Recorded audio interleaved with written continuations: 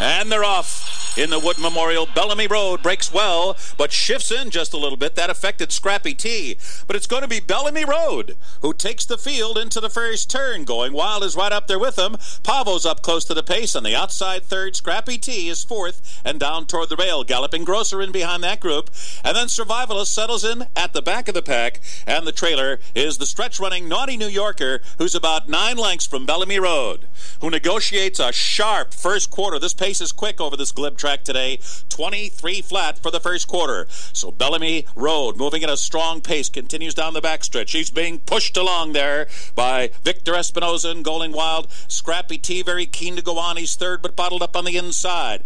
Pavo is now tailed off five lengths from Bellamy Road. A break of another four back to Galloping Grocers lost some ground. Still at the back. Our survivalist, the Naughty New Yorker. Naughty New Yorker is now a dozen lengths from Bellamy Road, who's half was 46 seconds flat.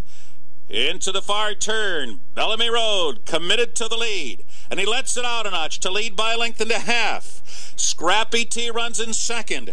Going Wild under a ride, but no response, and Going Wild is stopping and stopping badly. Farther back, Survivalist is kicking in and galloping. Grocer is moving with him.